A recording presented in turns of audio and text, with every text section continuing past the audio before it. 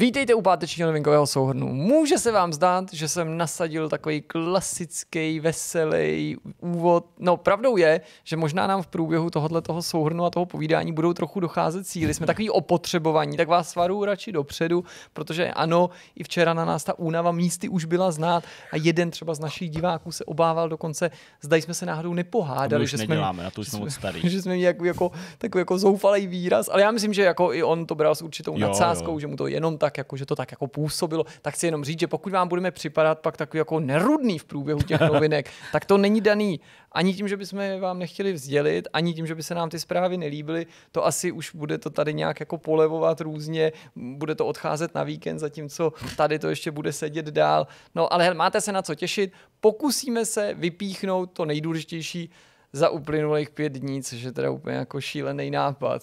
Jdeme na to.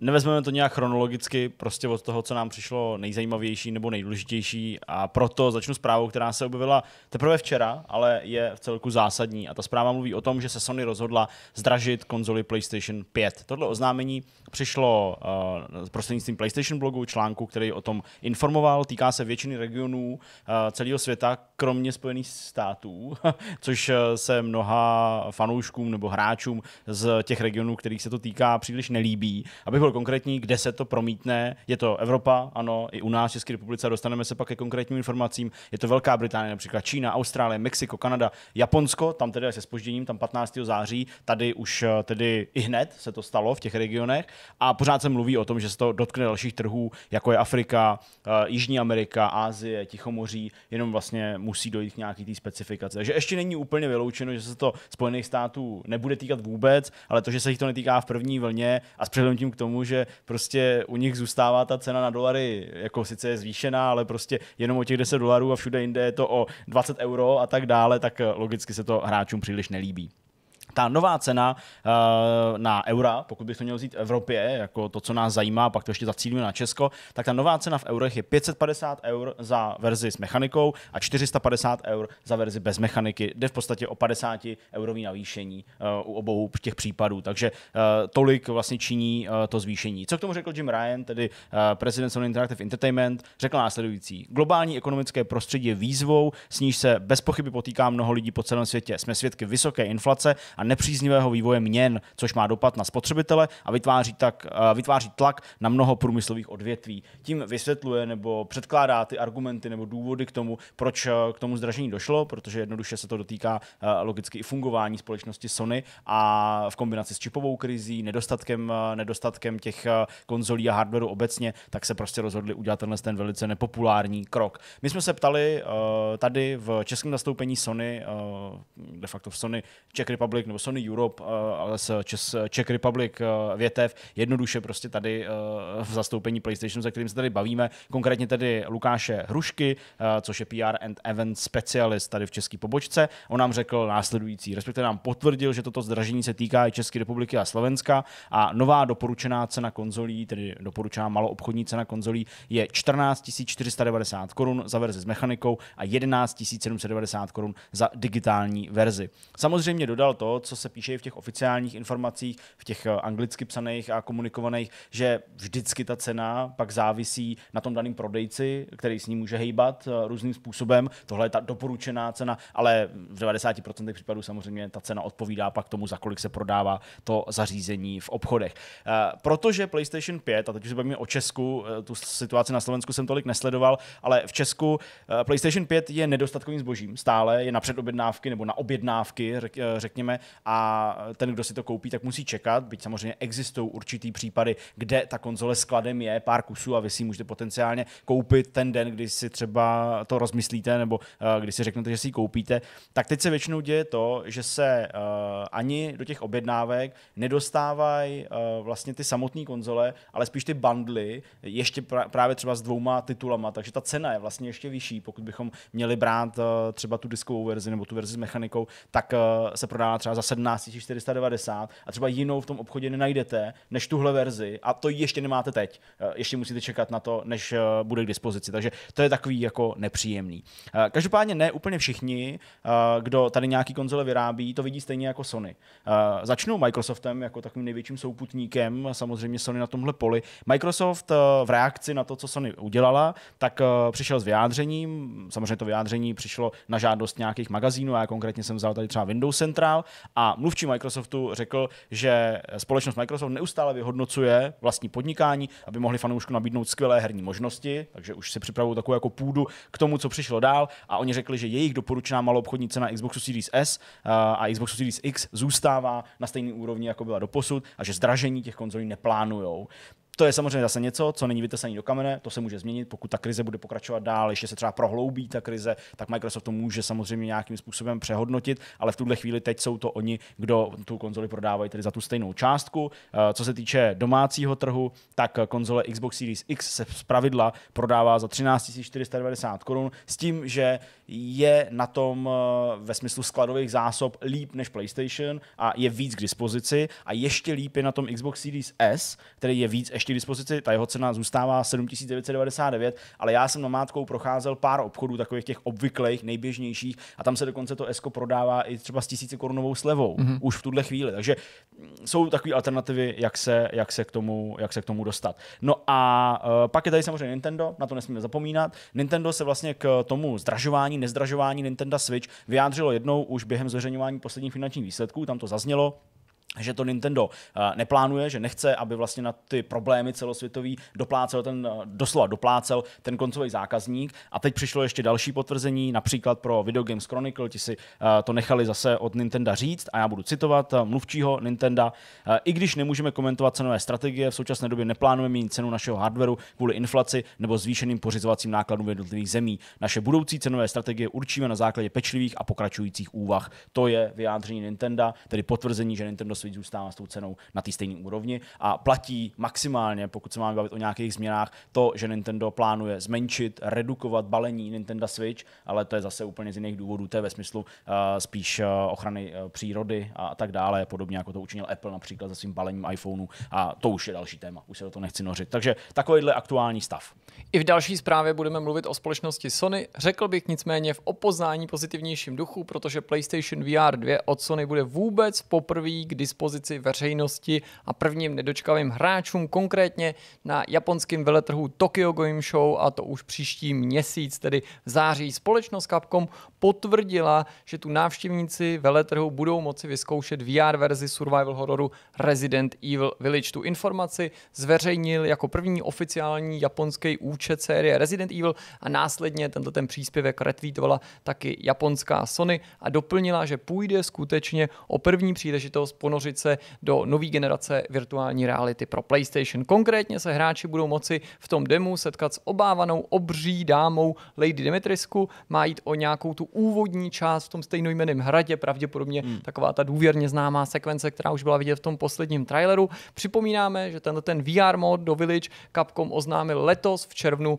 při příležitosti přenosu State of Play. Jedná se přitom o další nějaký střípek do té skládačky a zdá se, že výrobce nás začíná pomalu skutečně svý fanoušky a zákazníky chystat na to uh, očekávaný vydání toho headsetu. Konec konců hned z kraje tohoto toho týdne jsme se dověděli, že PlayStation VR 2 dorazí na trh někdy začátkem roku 2023. Zatím bohužel neznáme přesný datum toho uvedení a protože neznáme přesný datum uvedení toho headsetu, neznáme ani přesný termín pro ten VR režim Resident Evil. Nicméně víme, že pokud fandíte Resident Evil a líbí se vám konkrétně Village, tak Gold edice tohoto toho dílu, která nabídne third person mod, nový obsah do režimu Mercenaries nebo DLC Shadow of Rose dorazí už 28. října. V tu chvíli ale samozřejmě neočekávejte ten VR režim. No a když už jsem tady nakous ten Capcom a Tokyo Game Show, tak jenom doplním, že kromě Resident Evil Village ve VR bude Capcom na TGS prezentovat taky Monster Hunter Rise Sunbreak. Hmm. Na akci Open Night Live, kterou jsme přinášeli ještě předtím, než jsme odjeli do Německa na Gamescom, tak eh, vedle uh, her byl představený i hardware a to bylo to zastoupení Sony právě na této akci, protože uh, Sony prezentovala spekulovaný už nějakou dobu uh, elite ovladač, řekněme, nebo pro ovladač, pro kontroler, uh, který logicky vychází z designu ovladače DualSense, bavíme se samozřejmě o ovladači pro PlayStation 5 a tenhle ten nový ovladač dostal příznak Edge, jmenuje se DualSense Edge. Uh, je vysoce upravitelný, jak se pak psalo na blogu PlayStationu, tedy highly customizable a je to samozřejmě ovladač, který má splnit ty nejvyšší nároky na prostě profesionální ovládání her. Často se používá u stříleček, ale samozřejmě více uh, ovládacích uh, možností vám dovolí to použít i v jiných hrách, pokud samozřejmě uh, ty hry k tomu budou taky nakloněný. Co se týče těch funkcí, tak na první pohled ten ovladač skutečně působí jako DualSense, ale s pár věcma, důležitými věcma navíc. Uh, můžete si na tomhle tom ovladači přenastavit ovládání, jak potřebujete, zároveň taky to ukládat do profilu, který pak si můžete spouštět a vybírat si podle těch jednotlivých titulů, to je důležitý. Uh, z těch novinek, těch věcí, které na DualSense nenajdete, to jsou zejména páčky na zadní straně toho ovladače. Je to něco, co samozřejmě Microsoft se svým uh, Elite kontrolem právě uh, dělá už nějakou dobu, případně i samozřejmě výrobci třetích stran. Uh, takže tady máte dvě páčky vzadu, navíc, abyste mohli použít, jak potřebujete. Uh, taky bude možný například nastavit uh, délku trajektorie stisku triggeru, zase výhodný pro střílečky, řekněme. Petr by to určitě ocenil, protože mm-hmm. Petr není příliš velkým fanouškem uh, tý, uh, těch adaptivních triggerů, že, že to občas vypíná, že z toho, z toho bolí. Singlu to používá rád, ale Přesně, v multiplayeru, kde chceš být kompetitivní, Přesně, tak ne. takže vy to zkrátíte a v podstatě třeba ta spoušť, kterou opravdu jako střílíte, tak může být prostě milimetra kousek, jenom prostě jenom tak jako domáčnete a víte, že to hnedka pálí, že to nemusíte stiskávat až dolů. Uh, můžete si upravit tu polohu těch zadních páček, to je taky důležitý říct. Můžete si uh, upravit výšku analogových páček, zase něco, co měl taky samozřejmě ten Elite ovladač, uh, nebo má ten Elite ovladač pro Xbox. Uh, tohle je samozřejmě funkce, která je taky velice žádaná, protože ano, uh, někdo jednoduše prostě potřebuje víc toho, uh, víc té plynulosti nebo víc těch jako detailů ve smyslu toho ovládání té páčky, a čím je vyšší, že, tak tím se, to, uh, tím se to prostě nějakým způsobem líp koriguje, takže výšku. Uh, zároveň, a to je taky důležitý, uh, ty analogové páčky budete moci vyměnit kompletně levou i pravou, vlastně celý to uložení té páčky, celý ten mechanismus, který se stal v minulosti uh, prostředkem těch kaus, uh, toho driftování a tak dále, je to něco, o čem Sony už mluvila uh, nějakou dobu v náznacích, tak skutečně přichází s tímhle s tím ovladačem. To je jedna z věcí, která to... odchází jako první kvůli tomu velkému opotřebení přesně, namáhání. Přesně tak. A v momentě, kdy se vám to stane u obyčejného ovladače, tak je to prostě na reklamaci toho ovladače nebo na výměnu toho ovladače. Hmm. Uh, skutečně to ani vlastně některé společnosti třeba neopravujou. Uh, začalo se o tom pak mluvit v souvislosti s Nintendo Switch a, a, a Evropská komise. Jak Jasně, Unie to kritizovala přesně, přesně že se kvůli jako vlivů, drobný části vyhazuje přesně, celá věc. Přesně, těch vlivů a těch jako tlaků uh, na ty uh, analogové páčky je hrozně moc a Sony to se rozhodla vyřešit takhle s tím, že v momentě, kdyby se vám to pokazilo, uh, rozbily se vám ty páčky, nebo jedna z nich, to je jedno, tak prostě ji výjmete, koupíte si novou, uh, cenu teda neznáme a myslím si, že bude docela vysoká a myslím vysoká v poměru na to, co to je za zařízení a jednoduše tam prostě nakliknete nový ten kus a máte ovladač jako nový. Mně to, mně to přijde fajn, ale bude určitě záležet na té na tý ceně.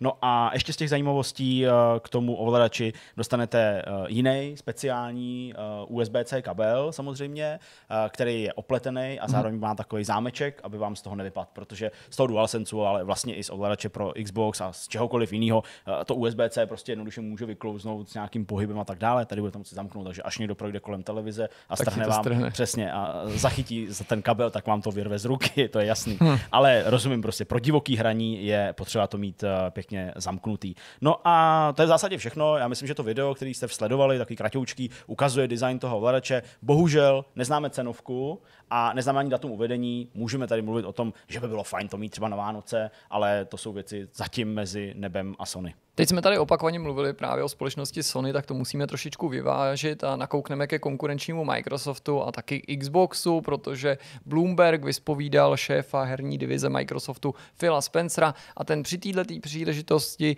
prozradil celou řadu zajímavých věcí. Já jsem si z toho rozhovoru vytáhnul některé body, některé témata, kterými přišly mezi těma nejzajímavějšíma. Když tady byla řeč o té vysoké poptávce po konzolích, o tom, že pořád jsou konzole svého druhu nedostatkovým zboží, musí se na ně čekat a tak dál, tak samozřejmě i tohle bylo téma toho povídání. A tady Phil Spencer připustil, že poptávka po nových Xboxech, zejména tom Series hmm. X, o Vánocích může opět překonat tu nabídku a opět to může být problém a navíc naznačil, že je možný, že ten problém s tím dodávkama eh, přetrvá i v tom příštím roce. Konec konců Microsoft tomhle není zdaleka jediný, všechny hmm. firmy se s tím více či méně potýkají. Další důležitá část toho rozhovoru se týkala té tý plánované akvizice společnosti Activision Blizzard. I o tom tom se mluvilo a zase z trošičku jiný perspektivy a mě ten kontext velice zaujal, protože Phil Spencer naznačil, že ten hlavní důvod, proč eh, vlastně Microsoft má zájem o tenhle ten gigant, tak to je eh, rozšíření si obzoru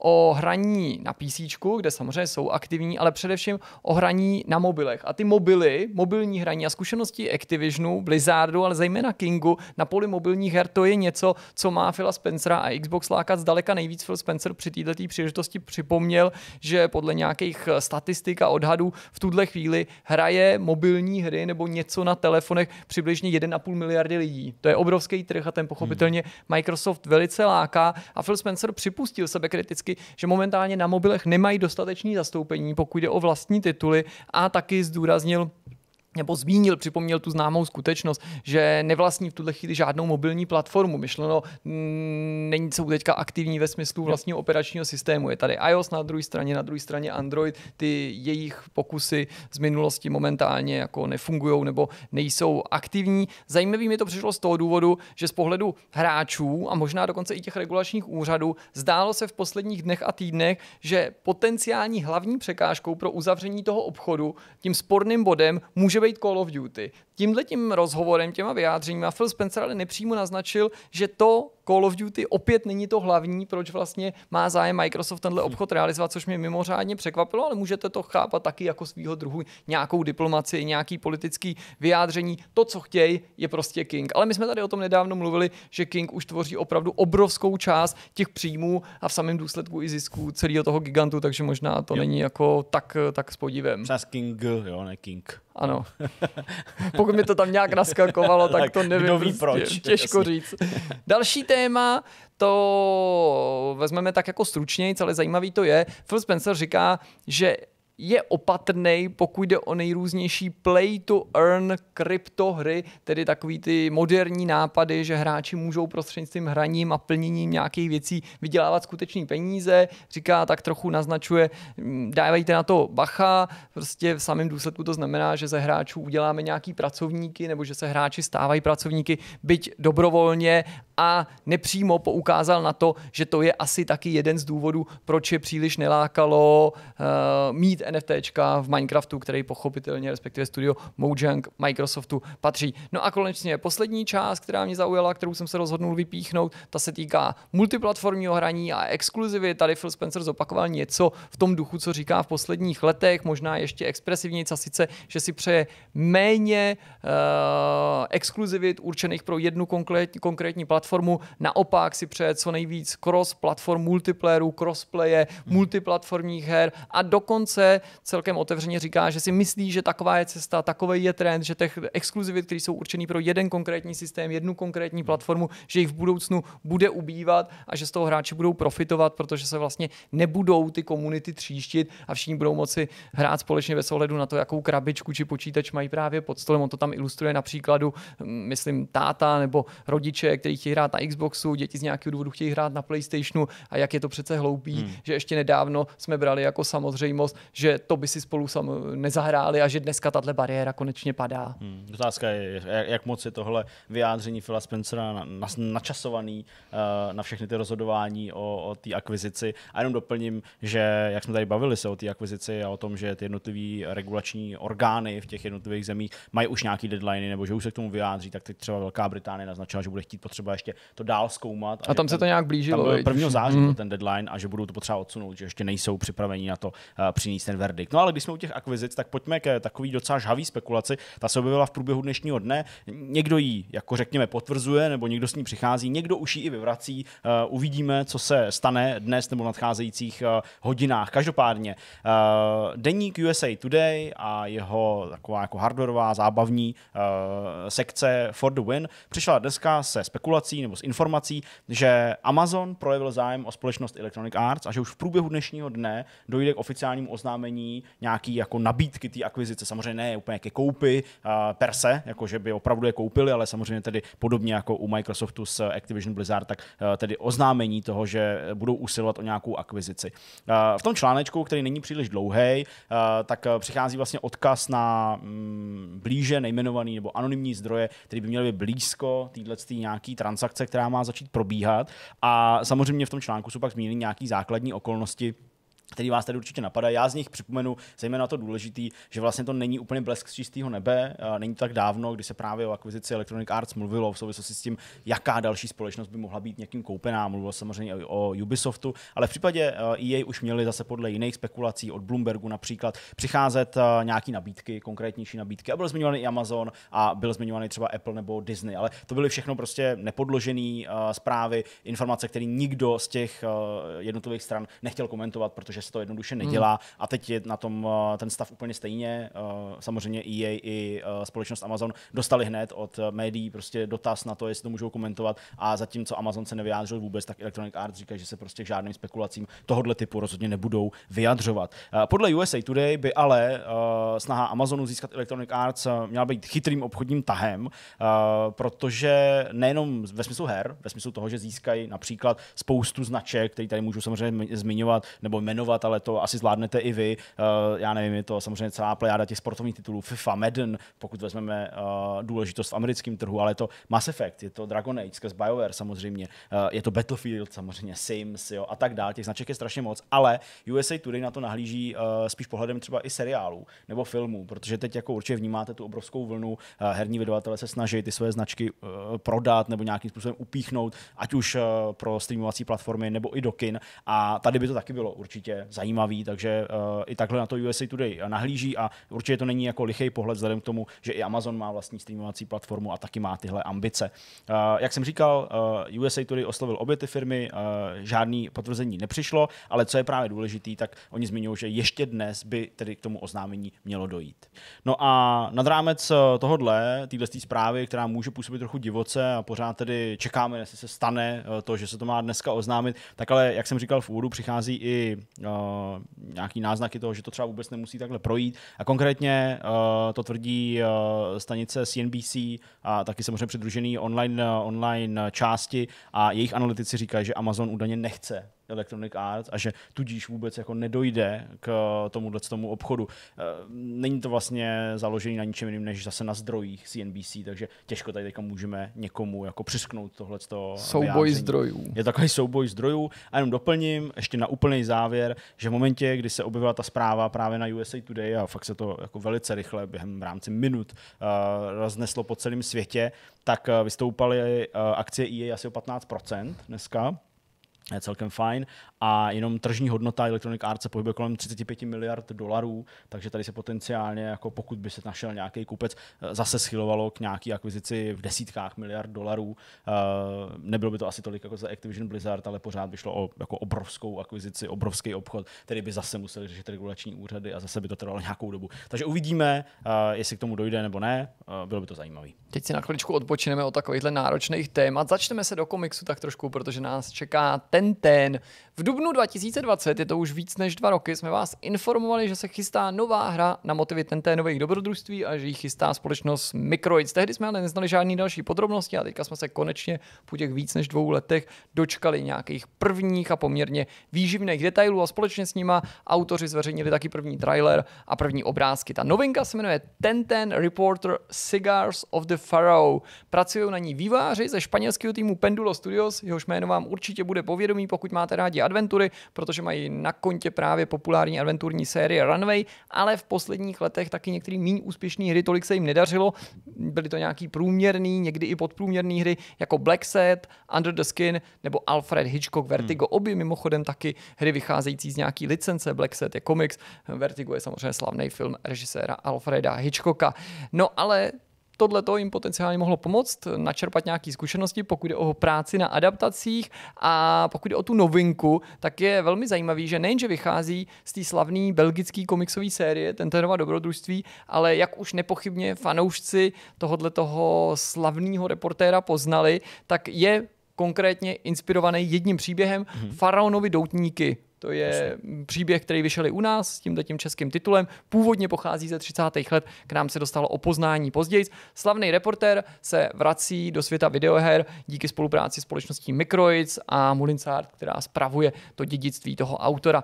Po setkání s nějakým egyptologem se ten titulní hrdina rozhodne proskoumat eh, hrobku faraona. Ty kroky nakonec jeho, ale i hráče zavedou nejen do této země na Nilu, ale i dál na východ do Orientu. Narazí totiž na pašeráky opy opia, který tu drogou zásobují právě dálný východ. Nechci zabíhat do podrobností, pokud jste fanoušci, tak pravděpodobně ten příběh znáte, pokud ne, tak by bylo škoda vyzradit si víc, navíc je to snadný k dohledání na internetu. Jak určitě tušíte z toho, co už tady padlo, půjde o další adventuru, přičemž autoři slibují, že její výtvarný styl bude věrný originálu. Šéf Microids při této příležitosti prohlásil, že je pro ně potěšením pracovat na adaptaci dobrodružství tohoto slavného belgického reportéra a připomíná, že na tom titulu začali dělat už před několika lety a nemůžou se dočkat, až ukážou hráčům víc.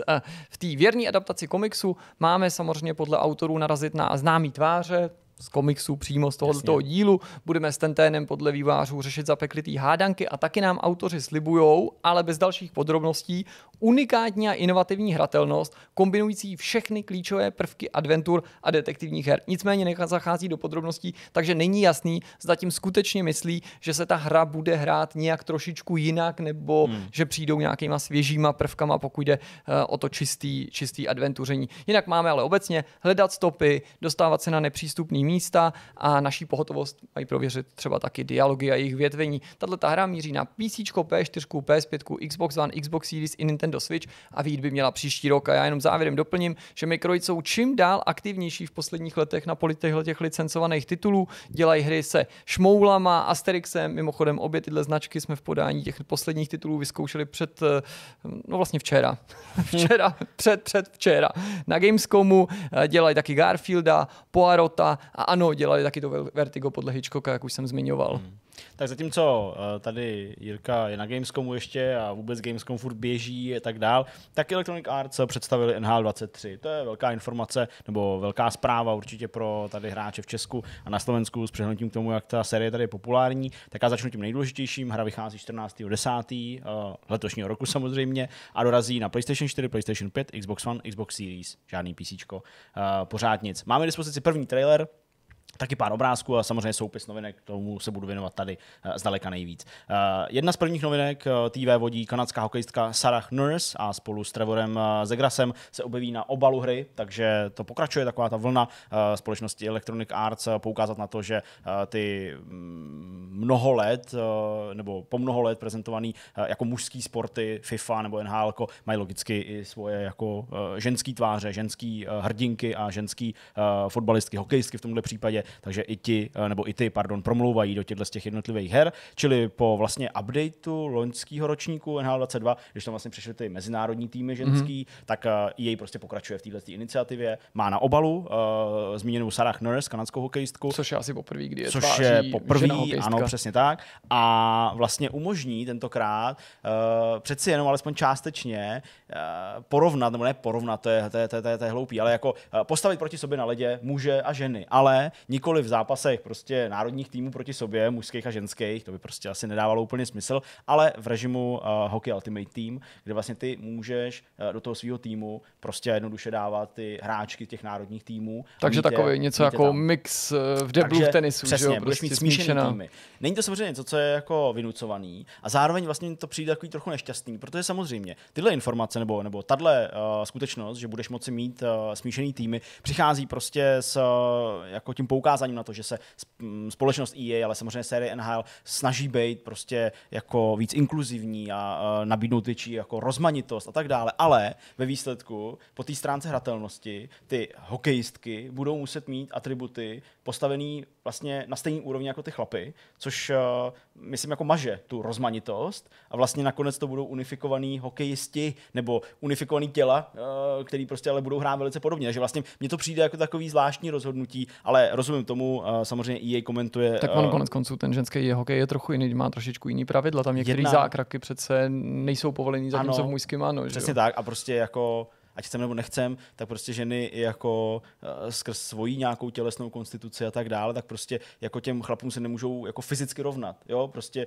ty chlapy by jednoduše úplně jako přejeli, to je vidět v různých sportech. A to tak je, to je v pořádku, proto nehrajou proti sobě. To je úplně v pohodě. Ale v momentě, kdy takhle začne dávat jako smíšený týmy v hockey, ultim, v, hockey ultim, v hockey ultimate týmu, který je kompetitivní a který ty chceš jako hrát v tom smyslu, že máš ten nejlepší tým, aby si porazil ty ostatní, tak jako pokud tam ty ženský chceš mít, tak ale oni prostě budou muset mít ty atributy nastavený na tu stejnou úroveň. A to je zvláštní. Ale jak jsem říkal, já to jako chápu, chápu vlastně ten jako signál nebo ten symbol toho a sami EA říkají Trevor a Sarah jsou inspirací pro přístupnější a inkluzivnější budoucnost tohoto sportu.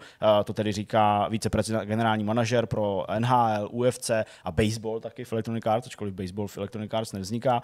Sam pardon, Sean Ramjak Singh, abych to řekl správně, takže ten právě jako naznačuje, že prostě to je ten důvod, proč tam jsou a vlastně potvrdil, že EA Vancouver, tedy vývářský studio, který stojí za NHL, se prostě chce nechat inspirovat samozřejmě nejenom mužskýma hokejistama, ale i hokejistkama a to je ten důvod. Uh, tolik ale k tomu, uh, tomu, tomu tématu nebo k této novince. Další z těch novinek je cross-platformový hraní. Uh, není to úplně jako plnohodnotný nebo stoprocentní. V první řadě cross-platform bude dispozici až od listopadu, takže cca měsíc po vydání té hry. A navíc se týká jenom modu uh, Hockey Ultimate Team a World of Chell, uh, který teda v sobě zahrnuje i EA Sports Hockey League. Takže je vtipný, že je na tom vidět, na čem jim vlastně nejvíc záleží, protože když dokážeš spojit tohle napříč platforma, tak bys si zvát asi exibici, která musí být přece technicky snažší, ne? Jo, no, já to nechci moc komentovat, ale je to tak. Pokud jde o tu kooperaci, tak všichni musí být na stejné platformě. Například, když se, když mm-hmm. si hrá třeba ty zápasy jako 6 proti 6, tak uh, prostě ty hráči musí být na jedné platformě. A navíc ještě platí to, že je to zase omezený na jako ty generace. Takže uh, můžeš hrát, uh, můžeš hrát uh, PlayStation 5, Xbox Series a můžeš hrát PlayStation 4, Xbox One, ale nemůžeš prostě hrát s Xboxu One s někým na PlayStation 5. Prostě takhle to nejde. Uh, takže, takže tolik k tomuhle. No ale i tak by se mohl zkrátit ten matchmaking, uh, aspoň částečně v těchto těch modech, který doslova jako měsíce po vydání, už jenom měsíce po vydání prostě je natažený na několik minut třeba, jo? když mm-hmm. prostě nemáš úplně, úplně štěstí nebo nehraješ nějakou úplně obvyklou hodinu, tak snad to nějakým způsobem pomůže. Pak došlo na vylepšení animací hráčů a brankářů. Eh, hráči dostali 500 nových animací uh, údajně, zejména pro zakončování v takových nějakých krkolomných situacích. To logicky vychází z toho, že na obalu je Trevor Zegras, určitě si vybavíte ten jeho perfektní move, uh, tedy gol prostě, který padl, ale vůbec vlastně měl padnout, uh, ve smyslu toho, že jako dosáhnout ho fyzicky by bylo velice náročné, jemu se to podařilo, obletělo to celý svět a EA se v tom tak jako zhlédli, takže ukazují nebo spíš jako lákají na to, že v momentě, kdy uh, už víš, že prostě o ten puk třeba přijdeš, protože už proti tobě jde obránce a už ti prostě sejme, tak můžeš zkusit prostě skočit, spadnout, nebo když už ležíš na zemi, ale pořád ten puk máš dosahu, tak prostě to zašmrdláš, umí to ovečky, umí to spoustu hráčů. Uh, už to i v NHL bylo do určitý míry, teď na to výváři ale ještě víc zaměřili svoji pozornost. Uh, brankáři dostanou 350 nových animací a taky vylepšenou umělou inteligenci, takže zase v souvislosti se zvolenou obtížností by měli umět prostě uh, chytat zázraky, takové ty věci, které by normálně třeba nechytili nebo by nevypadaly hezky, uh, byť by je třeba chytili,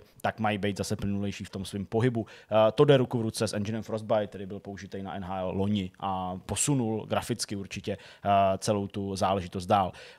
Pak si například budeš moci pečlivě navolit, jaký oslavy budou probíhat v konkrétní okamžiky nebo části sezóny Leone takže když budeš hrát prostě playoff, jak se budou tví, tví hráči radovat, když normální sezóna, když dají hat a tak dále, jaký budou oslavy, takže to je další věc. Pak eh, došlo k vylepšení videoprojekce na ledovou plochu při začátcích zápasu, to má eh, vypadat líp a zároveň zase ledová plocha, led, eh, dostal zase nějaký další vylepšení s tím Frostbitem, už tam k nějakému vylepšení došlo. Teď by se měl strouhat ten led, zůstávat někde v rozích nebo prostě mm-hmm. tam, kde se potkává led s mantinelama a zároveň, když zabrzdí hráč a vyhodí ten sníh, tak ten prostě ulpí na tom mantinelu a pak prostě začne sjíždět tak, jak se začne trochu rozstávat. Jo? Takže takovýhle detaily. Budu to kontrolovat. Být. Přesně, jako během té hry určitě takových věcí si budete určitě všímat. Uh, dál došlo k rozšíření pokřiků a všeobecných reakcí fanoušků, takže mají víc jako budget, mají víc ocenit ty góly, který právě dáš třeba díky těm novým animacím, nějaký jako uh, krkolomné věci nebo góly, který, uh, nebo prostě pokud se provede nějaká skvělá akce, tak by měla dát víc najevo.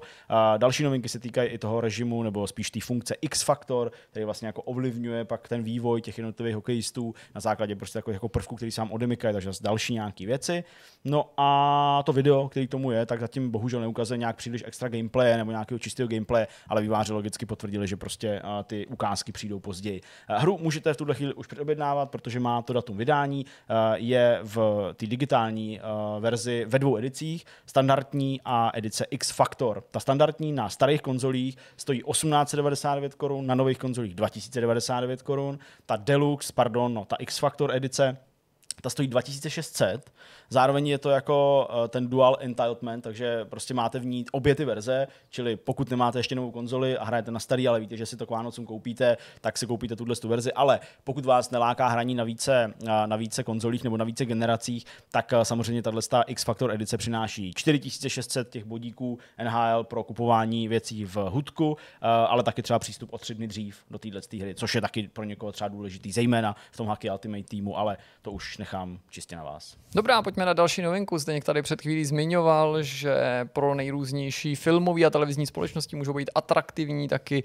herní značky a právě o takové herní značce, která se už pravděpodobně tentokrát dočká té své adaptace, budeme v nadcházejících minutách mluvit. Řeč je o Bioshocku. Letos v únoru jsme vás informovali, že Netflix chystá film podle Bioshocku, že to je další pokus o tuto prokletou hranou adaptaci a ten se teďka znovu přihlásil o slovo, protože streamovací gigant odhalil jména režiséra a scénáristy. Režie se nakonec ujme Francis Lawrence, ten má na kontě mimochodem úspěšné hry jako Konstantin, Já legenda, Rudá volovka anebo série Hunger Games. Scénář pak napíše Michael Green, který je podepsaný například pod snímky Vražda v Orient Expressu, tady je samozřejmě myšleno ta nejnovější adaptace z roku 2017, ale taky Logan, Wolverine či Blade Runner 2049. Ačkoliv Netflix zatím ale neláká konkrétně na ten příběh, tak z toho příspěvku, který se objevil na Twitteru, lze přeci jen něco dovodit, protože on ten příspěvek, ten tweet doprovodil provodil artworkem z prvního dílu a to nepochybně naznačuje výlet do toho oblíbeného podmorského města Rapture, se kterým si pořád, řekl bych, většina fanoušků tuhle tu značku spojuje. Jinak o té adaptaci bohužel zatím nic moc nevíme, tak eh, alespoň stojí za to připomenout si ten, ty předchozí projekty nebo ty mhm. předchozí pokusy o realizaci této adaptace. Bylo to už v květnu 2008, kdy se Take-Two spojili s Universal Studios, ten oznámený snímek tehdy měl natočit Gore Verbinski, režisér Pirátů z Karibiku nebo například například animáku Rango, scénář, který chystal John Logan, který má na kontě hity jako Gladiátor, Letec nebo Skyfall. Hollywoodská adaptace měla podle tehdejších plánů dorazit do kin v roce 2010, ale kvůli obavám o vysoký rozpočet byla její příprava pozastavená. Vrbinsky se mezi tím pustil do toho zmíněného Ranga, jak jsem o tom mluvil. Na křesle režiséra ho měl vystřídat Juan Carlos Fresnadillo a původní ten zamýšlený režisér tedy Vrbinsky měl zůstat uh, v roli producenta, ale pořád měl být u toho projektu aktivní. Nicméně na projektu se sice pracovali, pracovalo, ale panovaly značné obavy o ten jeho zamýšlený vysoký rating, protože po Watchmenech se studio zdráhalo napumpovat přibližně 200 milionů dolarů do dalšího filmu, který by byl určený jenom pro dospělí. Báli se toho, že se to prostě nezaplatí. Vrbinsky nakonec odešel úplně od tohoto toho projektu. Universal hledal jinýho, dalšího režiséra, který by to dokázal natočit za méně peněz, což by se mu pravděpodobně povedlo tedy nevěřím mm-hmm. si režisérovi, ale tomu studiu. Nicméně s tím pro změnu nesouhlasil Ken Levin, autor Bioshocku no. a společnost 2K. Levin tak raději celou tou adaptaci vetoval, protože na to měl právo, nechtěl přistoupit na žádný kompromisy. Taky naznačil, že studio možná nechtělo nutně vyprávět úplně stejný příběh, nechtělo se držet toho originálu, což mu pravděpodobně vanilo taky. Líbil se studio pro to prostředí, svět hry, ale ne už tak postavy a zápletka. A taky prozradil, to je takový bombonek na závěr, závěr, že absolvoval nějakou schůzku s nejmenovaným velice talentovaným a velice slavným režisérem a ten se ho měl zeptat, ten slavný nejmenovaný režisér Kena Levina, hned jako na začátku té schůzky, zda je nutný, aby se ten film odehrával pod vodou. Ale Ken Levin to nějak dál to povídání nerozvádí, ale a v zásadě těm fanouškům naznačuje tak jako podívejte, co jsem musel taky jako zažít, nebo čemu jsem hmm. musel, jakým otázkám čelit, i když to třeba pokládal ten dotaz v dobrý víře někdo fakt známý a úspěšný v Hollywoodu. Hmm. No, dobrá, pojďme dál k další novince. Ta se týká uh, technologie Denuvo, určitě ji znáte, uh, od společnosti Irdeto. Irdeto oznámilo, že má k dispozici připravenou novou revoluční technologii, cituju, tak to oni nazvali, a touhle technologií chtějí chránit hry na Switch. To je zajímavý. Uh, takže se nám Denuvo dostává na konzole. Ale ne tak docela. Ačkoliv Nintendo trápí piráctví dlouhý roky, tak co se týče Nintendo Switch, tak uh, tam k žádnému prolomení, pokud vím, úplně nedošlo a mám takový pocit, že tam je to jako v pořádku. Každopádně, co Nintendo trápí, je emulování her pro Nintendo Switch, mm-hmm. protože Uh, I vzhledem k tomu, že ten hardware už není z nejnovějších a samozřejmě hardware počítačů stále jde ku předu, tak emulovat hry pro Switch na PC je čím dál tím snažší a začíná to být pro... Není to tak běžný, jako u těch ještě starších platform, ale rozhodně je to dál než ty první pokusy u PS5, nějaký homebrew experimenty. Přesně. Jenom. Takže to začíná být jako problém a proto přichází tahle ta záležitost. Jmenuje se to vlastně tak jako správně, jo? to míří přesně k tomu, co to má dělat. Je to Nintendo Switch Emulator Protection, tak se to jmenuje, ta nová revoluční mm-hmm. technologie. Uh, Irde to k tomu říká následující. Emulovat jakoukoliv hru pro Nintendo Switch na počítači je snadný a v současné době jich je k dispozici téměř 4,5 tisíce. Někteří hráči emulují tituly v den jejich vydání mm-hmm. a tím pádem je hrají, aniž by za ně utratili jediný cent. Ochranou své hry pomocí našeho řešení hráče donutíte, aby si ji koupili.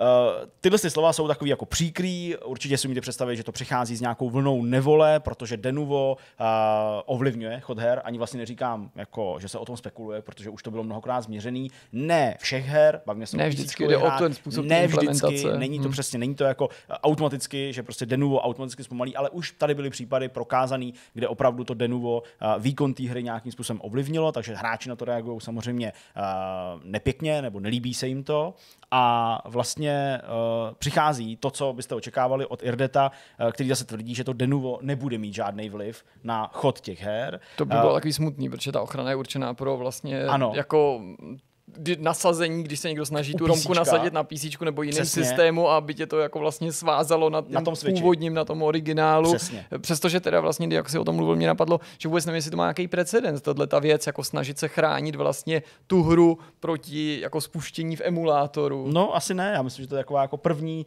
taková jako vlaštovka nebo minimálně na této oficiální úrovni. Uh, protože ale hráčům se to dál nelíbilo, tak samozřejmě se jako ptali, jak to jako bude řešený, to jako bude nějaký online check, takže jako i když budu mít tu prostě eh, romku, nebo romku, když prostě budu mít klasicky uh, tu kartu strčenou v, ve Switchi, tam vlastně to Denuvo bude, ale vlastně se jako nebude používat, tak ale jako bude pořád funkční a bude se online dotazovat na nějaké věci, tak oni vysvětlili ne, že to jako není onlineová záležitost, takže samozřejmě v tomhle uh, případě je to i pochopitelný, ale museli to vysvětlit. A pak, co museli vysvětlit, je, že to nakonec jako nebyl impuls od Nintendo, že se to jako nezadalo Nintendo u nich mm-hmm. a řekli následující, že ačkoliv je jako uh, vážou nějaký, uh, nějaký jako NDAčka, nějaký smlouvy, tak říkají, že to prostě vychází ze žádosti vydavatelů těch her. Takže se to možná netýká ani her jako Nintendo, i když jako Nintendo se s tím taky nějakým způsobem potýká, ale o, týká se to zejména těch third party her. Takže uh, prostě má to být tedy na poput vydavatelů, který prostě nechtějí, aby jim utráceli utráceli peníze, uh, ucházeli peníze nebo utíkali peníze z prodejů těch uh, jejich titulů na Nintendo Switch. No a co se týče ještě takový jedné takové zprávičky, uh, která vlastně vyšla ve stejný den a Jirde to se k tomu vyjádřil ve stejný den, tak to je to, že vlastně nasadili Denuvo a teď ty takový ty klasický PC verzi, to znamená Denuvo nejenom proti kopírování, ale taky ten anti-cheat, jaký mají, na vlastně servery Amazon Web Services. Poskytli to Amazonu, uh, ta část Amazon Web Services for Gamers, nebo, nebo for Games, jak se to jmenuje, a vlastně každý, kdo ty servery používá pro chod svých her, onlineové struktury a tak dál, tak uh, vlastně může využít uh, tuhle tu funkci. Samozřejmě je to nějakým způsobem spoplatněný v rámci pronájmu těch, těch serverů, ale ta, te, ta technologie je prostě integrovaná do toho, takže kdo ji chce, může ji použít. Když jsme se chystali na Gamescom, tak jsme tušili, že ani součástí toho veletrhu, ale ani akce Opening Nightlife nebude prezentace nový závodní hry ze série Need for Speed, což se bohužel potvrdilo. Nicméně přesto budeme v tomhle novinkovém souhrnu o pokračování této závodní legendy mluvit, protože se o ní hovoří na internetu z toho důvodu, že unikl krátký klip. A tohleto kratičký, musím to tady zdůraznit, to kratičký video ukazuje takový miniaturní střípek ze hry a nejde přitom o první podobný případ, protože internetem už se nějaký videa a nějaký obrázky toulaly. To video zachycuje vůz Chevrolet Bel Air při takovým nutno říct nepovedeným pokusu přes, proskočit překážkou, je to takový donut, prostě, kterým se to ten řidič pokusí uh, proskočit, to se mu neposmívám, protože jo, to jo. se prostě stane tak během hraní her, jo. já to dobře znám. A nicméně, ačkoliv ten klip je tak krátkej, tak poskytl další indicie, které e, dokládají, že ty spekulace, které se objevily dřív, se zakládaly na pravdě, protože i v tomto kratičkém klipu se objeví při tom neúspěchu něco z těch dřív zmiňovaných efektů ve stylu anime. Takže hmm. to autor stane nějaký křídla, objeví se tam nějaká lepka a je to tak, jak to bylo popisované, jako vlastně asi jako realistický prostředí, i když teda ta grafika na mě nepůsobí nějak super realisticky, ale je to nějaká jako nedokončená verze, samozřejmě nevíme, jak je stará a v tom interfejsu se objeví ty hmm. efekty těch křídel a tak, ne přímo v tom prostředí, což je prostě něco, co jsme si asi takhle představili, že bude fungovat, ale umím si představit, že to ještě zbudí jako nějakou kontroverzi nebo prostě jo. nějaký pochyby. Vedle toho videa se ale objevily i nějaký nový údajný podrobnosti neoficiálního charakteru. Samozřejmě pochází ze stejného zdroje v podstatě jako to video, takže se to bere jako, že to pravděpodobně bude pravda. Ty informace tvrdí například, že systém upgradeování má být zjednodušený tak, aby to bylo snadno pochopitelný mladšímu publiku. Cílem má být totiž celou tou hrou oslovit novou generaci hráčů, pro kterou se má tato novinka stát odrazovým můstkem do tohoto světa. K této značce to bude možná budit další kontroverzi. Aha. Jinak bude možný sázet na vítěze závodů a vydělat si tak další in-game peníze a ty samozřejmě investovat do nějakých dalších vozů nebo možná dokonce těch upgradeů. Ta hra má nějak obsahovat prvky příběhu po vzoru Need for Speed Heat a podobně jako Need for Speed Heat má mít údajně jenom prodávám, jak jsem nakoupil, eh, silný zastoupení žen. Má ta hra být inkluzivní. V intru se prý objeví vůz BMW a znít tu má latinskoamerická hudba. Ten titul bude dostávat další obsah i povídání, ale jak dlouho to má podle vývojářů nebo těch zákulisních informací od vývojářů záviset na tom, jak si hra povede v prodejích a taky jak si povede v recenzích. A v jejím světě, v tom otevřeném světě, se má někde objevit uhánějící vlak. Prostě nějaká nějaká mašinka, co tam bude jezdit, možná třeba podobně jako ve světě GTAčka například. Ta hra, jinak jak už jsme říkali dřív, údajně nese název Need for Speed Unbound, i když jeho pořád oficiálně nepotvrdili, a ačkoliv stále nebyl ten titul formálně představený, tak ještě nedávno se mluvilo o tom, že by hra měla být letos, konkrétně se mluvilo o listopadu.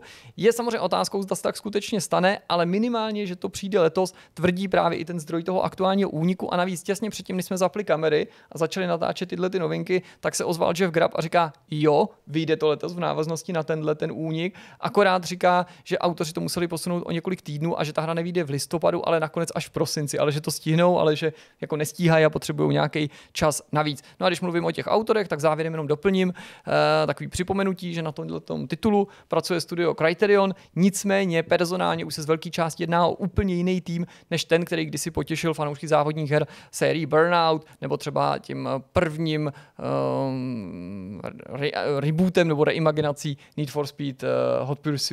Hmm. A aby ne, když původní autoři Burnoutu, tak s těma jsme teďka pár dní naspět mluvili na Gamescomu a ty chystají Recreation. Tak tak, předevčírem. Ano. To bylo, to je hustý. Jenom předevčírem. Dobrý, tak uh, pojďme k dalšímu titulu, k novince. Uh, ta hra se jmenuje The Great War Western Front. Je to hra, strategie od uh, studia Petroglyph. To jsou vývojáři, kteří dali světu například Star Wars, Empire at War, Grey Goo nebo remaster Command and Conquer.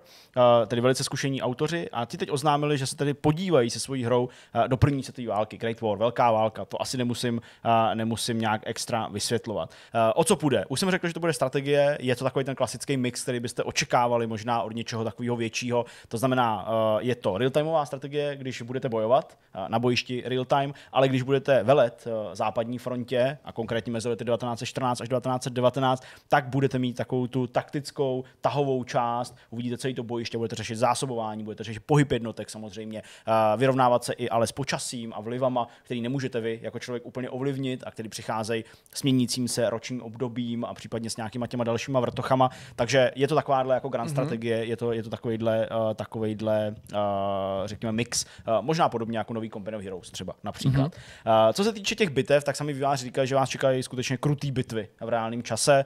Uh, bitvy, které se odkazují na velice krutý způsob válčení první světové války, uh, takže v tomhle ohledu určitě se musíte připravit i trochu duševně na to, že to ne, možná nebude úplně jako jednoduchý uh, zkousnout. Co taky výváři slibují, jsou persistentní mapy ačkoliv nebudeš se pohybovat na nějakém open worldu, vždycky to každý bojiště, do kterého se pak vrhneš z té taktické mapy eh, do té bojové, tak prostě bude mapa, ale ty se do ní budeš vracet. Eh, různě se ty fronty posouvaly, jo, takže eh, týden byl tady, pak se posunul, ale další týden musí byl se zpátky ve svém ve svým původním zákopu. Tak v momentě, kdy vlastně vy na té mapě konkrétně vybojujete nějakou bitvu, dopadnou tam nějaký dělostřelecké granáty, prostě je tam nějaký právě, jsou tam nějaký ty zákopy, nebo tanky tam něco rozrejou a podobně, zůstane to tam bude tam pořád, po dobu celé té kampaně, což je zajímavý, eh, to většinou nebejvá, protože ne vždycky přichází nějaký backtracking že jo, eh, v kampani strategií, ale prostě to je zajímavý prvek určitě, takže to persistentní bojiště zůstává. O počasí jsem mluvil, eh, bude vás ovlivňovat na té taktické úrovni, ale samozřejmě pak i přímo v tom bojišti, takže v momentě, kdy prostě začne na jaře něco rozstávat, tak se v tom budete brodit v bahně, to stejný zase na podzim, že jo, před tou zimou, než to, než to stuhne.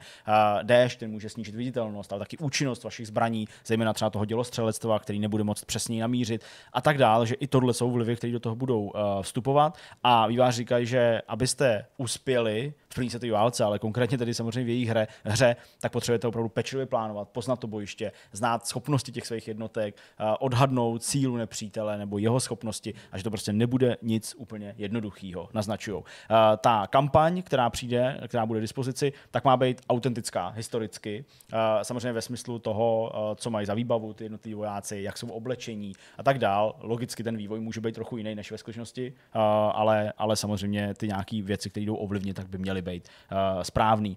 Ostatně výváři z Petroglyfu spolupracují s Londýnským imperiálním válečným muzeem, takže mají odborníky účastníky uh, právě uh, z tohohle z toho muzea a zároveň taky samozřejmě mohli využít ty rekvizity, nebo rekvizity, no, spíš ty skutečné uh, exponáty, které v tom muzeu jsou a pomocí nich samozřejmě vytvořit ty svoje modely pro svoje jednotky. Co se týče těch kampaní nebo té možnosti zahrát si, zahrát si tuhle hru, tak výváři se nebojí toho dát vám samozřejmě i stranu čtyřspolků nebo ústředních mocností, budete hrát tedy i za Němce, ale samozřejmě můžete hrát i za strany dohody. Žádná hra nebude stejná, říkají, že prostě všechno se bude vyvíjet dynamicky, takže uh, v těch kampaních dostanete nějaký cíl, ale jak, k němu dostanete, uh, jak se k němu dostanete, je čistě na vás. Říkají, že malý i velký rozhodnutí mají změnit výsledek té války, takže mm-hmm. skutečně potrhují to, že uh, opravdu by to mělo být hodně dynamický a hodně různý. Uh, v této strategii samozřejmě bude i něco vyvíjet, protože v průběhu té první světové války logicky uh, ty technologie doznaly nějakého svého vývoje. Bylo to vidět například na těch tancích třeba, ale samozřejmě i na zbraních jako takových. Uh, co se týče těch dalších režimů, kromě kampaně, budete mít samozřejmě i nějaký historický bitvy, historický scénáře, takže eh, odehrajete si prostě nějakou konkrétní bitvu, pak budete moci sami vytvářet vlastní bitvy ve skirmiši a logicky taky hrát multiplayer. Tahle hra, která vypadá hrozně hezky, musím říct, jako vizuálně fakt je zvládnutá velice pěkně, můžete se podívat, nebo viděli jste obrázky, viděli jste určitě video, tak ještě nemá pevný datum vydání, ale má být příštím roce, takže uvidíme, kdy to bude a v tuhle chvíli zatím míří pouze na PC. Mě jenom zaujalo, jak si na, na začátku nebo v průběhu ano. toho povídání mluvil o tom, že ty bitvy nebo že na té frontě se budeme pohybovat v letech 1914 až 1990, 1919, jestli to není překlep, že by to mělo končit 1918, 18, jo, nebo pravda. jestli je tam nějaká jako fikce na no, vidíš, toho, to vlastně a nebo možná mám jenom nějakou mezeru ne, v, ne, určitě nemáš eh, mezeru, 1918. vzdělání v tom smyslu, ne. že někde se to přelilo třeba do dalšího roku a já to jenom uh, jako neakcentuju jako oficiální konec. Myslím, ale dal jsem tohle člověče No, tak to musím překlep. Já jsem to tady bral z oficiálního uh, popisku na Steamu, který je dokonce v češtině. Mm-hmm. A tady opravdu je 1914 jo, až 1919. Tak možná, ale že něco máš pravdu, pokračovalo i v roce 19. Já jsem možná unavený, že mi to ani jako netrklo, jasně, ale možná přesně nějaký jako odsun do zvuk, nevím. Nevím, my jsme nevím. takový použitý, jak jsme varovali Dost. na začátku. Pojďme na další novinku. V poslední době tady hodně mluvíme o nejrůznějších adaptacích, opakovaně jsme v tomto smyslu mluvili o projektech od Sony, no a teď tady další takový, protože magazín Deadline přišel s vlastní exkluzivní zprávou, že filmová a televizní divize PlayStation Productions chystá film podle hry Gravity Rush, což bylo docela překvapení pro fanoušky, protože přestože se jedná o kvalitní titul, poměrně oblíbený, tak nepochybně patří mezi ty menší nebo potenciálně menší z těch, ze kterých by si Sony ještě mohla vybírat. Na tomto projektu se podílí společnost Scott Free Productions Productions, jejíž jméno vám pravděpodobně bude povědomí. Je to firma, kterou založili režiséři Ridley a Tony Scottovi. Tony Scott už samozřejmě nežije, ale ta firma dál funguje a je velice úspěšná. Režisérkou tohle snímku má být eh, Anna Mastro a scénář napíši, eh, napíše Emily Jerome. Deadline říká, že neví, eh, kdo bude producentem tohoto filmu, ani to, zda to bude přímo Sony a její divize, která by ten film distribuovala do kin. Neznáme v tuhle chvíli pochopitelně vzhledem k tomu, eh, jak málo těch informací máme, ani přibližný termín premiéry. Nicméně musíme na tomhle místě připomenout, že nejde tak docela o první pokus přenést tu hru do nějakého nového podobného rozpohybovaného média, protože už ke Gravity Rush 2 vyšel prequel v podobě anime Gravity Rush The Animation. Eh, k dispozici mimochodem je zdarma přímo na kanálu PlayStation, můžete si ho pustit třeba hned po tom, co dokoukáte novinkový souhrn, pokud ještě neusnete. A tenhle ten snímek, to anime, překlenuje mezeru mezi událostma prvního a druhého dílu. No, když je tady o těch řeč hrách, tak musíte o těch řeč hrách? No teda, o těch hrách řeč. Tak to je skvělý, to je, to je skoro bombánek, ne? O těch, o těch řeč hrách. Když je tady o těch řeč hrách, to je prostě skvělý. Takže když je tady o těch hrách řeč, tak jenom něco k ní musím říct, pokud to ještě dokážu. Gravity Rush debitovalo na Vitě v roce 2012, o tři roky později pak tato hra dorazila taky na PS4. Dvojka, ta vyšla rovnou na PS4. Hru má na svědomí dneska už neexistující Japan Studio, konkrétně Team Gravity, který je známý taky jako Project Siren, skupinka vývojářů, která kromě Gravity Rush vytvořila taky, ano, nejspíš správně tušíte, hororovou sérii Siren a hlavním autorem obou těch značek je, je otec Silent Hillu, Keiichiro Toyama, který dneska pracuje na svý nový vlastní strašidelný hře Slitherhead ve vlastním novém týmu Bokeh Game Studio. Já tady mám další novou hru, ačkoliv to není úplně nová hra, je to pokračování Railway Empire, hra, která vyšla v 2018 původně od vývářů z Gaming Mind, se dočká svého pokračování tady to je to, uh, co jsem si tak trošku splet, ale vy to vůbec nevíte, uh, protože tahle hra samozřejmě se nedočkala svého oznámení v tuhle chvíli, to přišlo na začátku letošního roku, ale uh, v rámci uplynulých dní jsme se mohli konečně dozvědět první detaily a podívat se taky na nějaký první obrázky a taky třeba zjistit, že tahle hra která ještě nemá datum vydání a míří pouze na PC, bude k dispozici taky v Game Passu, ale zatím se neví, jestli jako Day One nebo někdy výhledově. Každopádně, Railway Empire 2 od vývářů z Gaming Minds uh, vás chce opět vzít uh, pěkně do minulosti, kdy prostě vláčky byly tou nejdůležitější dopravní, uh, tím nejdůležitějším dopravním prostředkem, ale i samozřejmě nejenom dopravním ve smyslu osobní přepravy, ale taky nákladní přepravy. To znamená, že jsme na počátek 19. století a jak říkají výváři hezky, oblékněte kabát chytrého podnikatele, převezněte malou železniční společnost právě na počátku 19. století a udělejte ze svých parních lokomotiv tažné koně ekonomiky. To se mi fakt jako líbí, uh, čili budete se snažit prostě vybudovat své vlastní velký vláčkový impérium. Uh, budete se pohybovat v Severní Americe a v Evropě, v kontinentální Evropě nutno říct. Samozřejmě Velká Británie je taky velká vlaková velmoc, ale uh, tady se budeme bavit pouze o té kontinentální Evropě. A ty dvě lokace, Severní Amerika a Evropa, by měly být zpracovaný jako komplet jako, mm-hmm. jako, jako celý, což je docela ambiciozní plán, ale uh, dost lákavý samozřejmě taky v kombinaci právě s touhle s tou hrou. K dispozici byste měli 60 parních lokomotiv, nepřeberný množství vagónů a uh, mít tedy možnost, jak už jsem říkal, nakouknout do všech koutů uh, těch jednotlivých uh, dvou regionů. Uh, máte se očekat vylepšený konstrukce uh, jednotlivých uh, kolejí, uh, automaticky se budou vytvářet nějaký signály, abyste s tím neměli uh, nějak velkou práci, ale samozřejmě výváři říkají, že pokud to chcete editovat, tak logicky signály editovat budete moci. Uh, jedna z novinek, například porovnání s tou jedničkou, je třeba to, že uh, po mostech můžou jet až čtyři koleje, nebo mm, být prostě sestavený ze čtyř kolejí a nádraží se může rozrůst až na osm kolejí, na osm mm. nástupišť, což mi přijde vlastně, nebo osm nástupišť nutně ne, ale osm kolejí, uh, což mi přijde super. Tak to Harry Potter do Bradavic nedorazí. prostě, no, to ne, no, to, to je pravda. Jsi tak vtipný, Jirko. Uh, aby, no, aby to hraní nebylo taky jako vždycky přímočarý, uh, prostě jenom stavíte a chcete být nejlepší, tak vy si vždycky na začátku budete muset zvolit jednu z šesti odlišných postav, která bude reprezentovat vás, toho chytrého podnikatele, jak jsem říkal. A každá z těch postav má nějaké svoje slabé a silné stránky, ovlivňující uh, nějaké ty věci během té hry. Uh, k dispozici bude pět kampaní, uh, vždycky po 14 scénářích, takže to je docela dost, to je 70 jsem rychle spočítal. Uh, budete mít dispozici taky novou obtížnost, uh, obtížnost teda novou úroveň obtížnosti. Uh, budete mít dispozici sandbox, uh, mod jenom pro uh, volné stavění. A podobně jako v českých mašinkách uh, ve hře od uh, Honzy Zeleného, tak budete mít možnost se projet v tom vlaku hmm. vlastně sledovat tu krajinu uh, v tom vlaku, nebo z toho vlaku, ať už z lokomotivy, anebo, nebo z vagónu. Jsem docela zvědavý, jak to vlastně jako výváři pojmou a jak to bude vypadat právě třeba v porovnání s mašinkama. Mm-hmm. Uh, tenhle projekt samozřejmě vytváří větší studio, nebo velký studio relativně, uh, v porovnání s Honzou určitě velký studio, protože Honza je na to sám, když ne úplně samozřejmě, tak uh, jsem vlastně zvědavý, jako, jak to jako dopadne. Ta inspirace si myslím je celkem jako zjevná.